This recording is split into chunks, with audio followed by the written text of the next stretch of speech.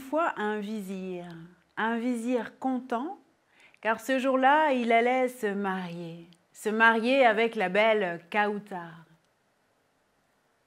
Il était impressionné, très impressionné. Déjà parce qu'il avait attendu longtemps avant de se marier, il, allait presque avoir 40 ans. C'est tard pour un homme. Mais là, il était sûr de lui. Ce serait la belle Kautar qui l'épouserait.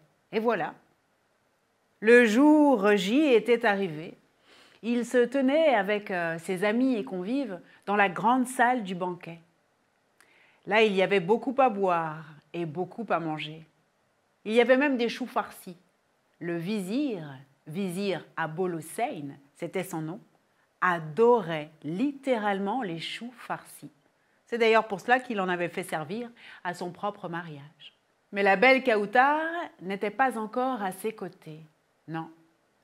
Elle était dans une alcôve avec ses sœurs, ses cousines et ses grands-mères. On la préparait. Et pendant qu'on la préparait, le vizir était avec euh, ses convives.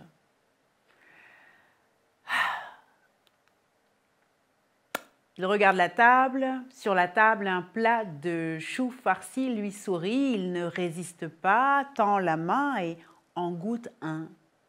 Un délice. Un vrai délice. Tellement bon ce chou farci que le vizir en a pris un deuxième, et puis un troisième, et puis même un sixième. Ensuite, il trouve le temps long, il aimerait bien que Kautar soit à ses côtés.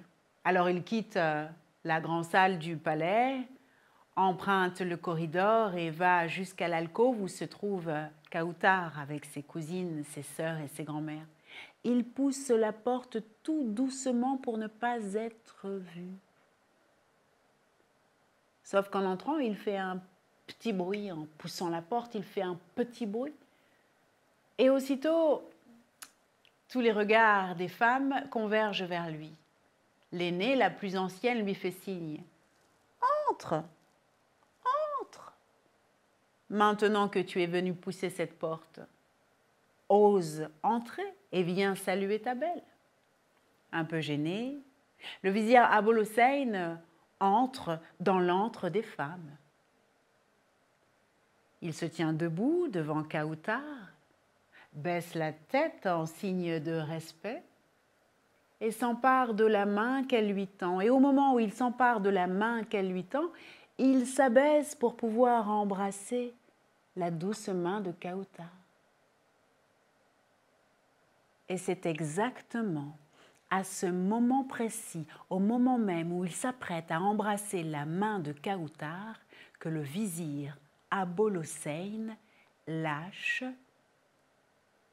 un paix.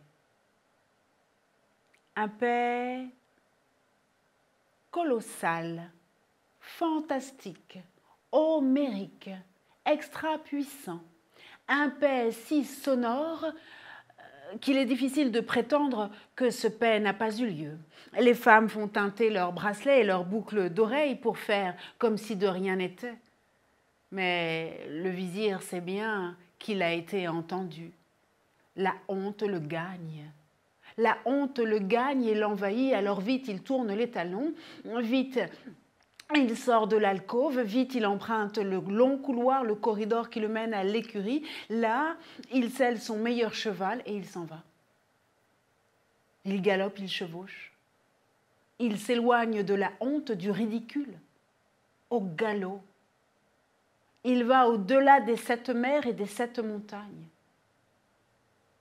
Il ne s'arrête que lorsqu'il trouve un palais dans lequel il peut exercer en tant que vizir.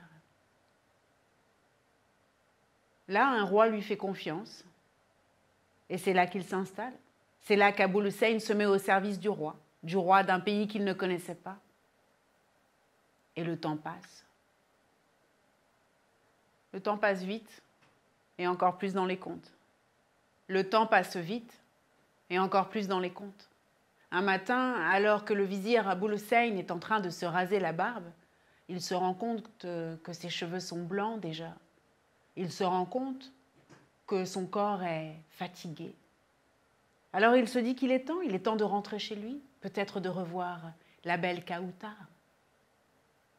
Le vizir demande congé à son roi, qui le lui accorde, il reprend son cheval et fait le chemin inverse, par-delà les sept mers et les sept montagnes, le chemin qui le ramène chez lui. Et lorsqu'il arrive aux abords de son palais, il passe par le petit village. Le petit village au pied de son palais, le petit village au pied de son palais, celui qu'il a connu quand il était petit.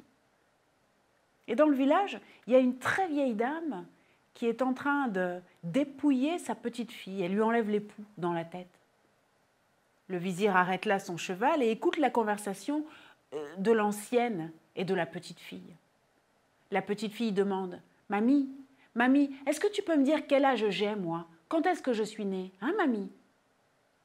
Toi, ma petite fille, tu es née 17 ans après le fameux paix du vizir Abul Hussein.